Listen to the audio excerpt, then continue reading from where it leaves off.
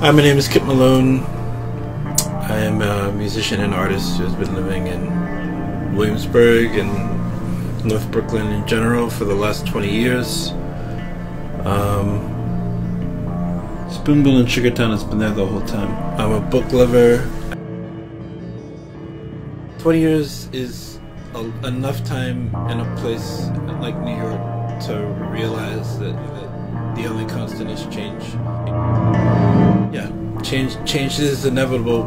Uh, that doesn't mean that we shouldn't uh, hold on to things and have uh, institutions for ourselves.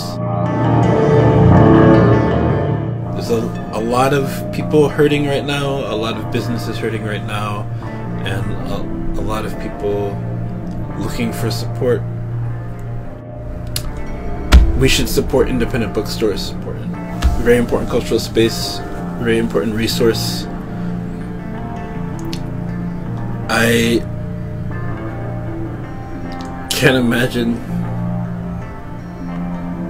uh, what would be left of Bedford Avenue for me uh, without Spoonbill and a handful of other places.